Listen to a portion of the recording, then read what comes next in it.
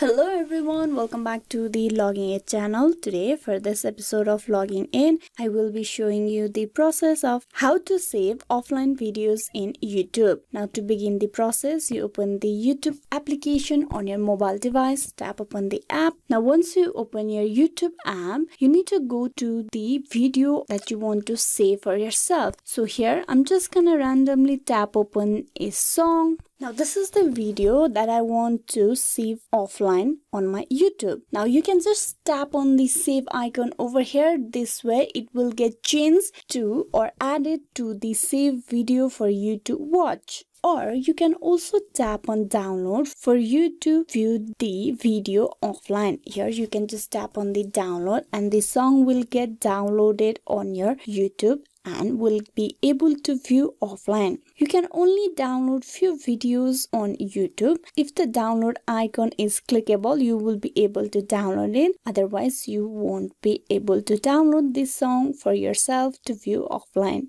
This is how you can download or either save the video to watch offline. Hope this video was useful and you have learned how you can save the offline videos in YouTube. Please like and subscribe the Login Aid channel and also don't forget to click on bell icon. Thank you.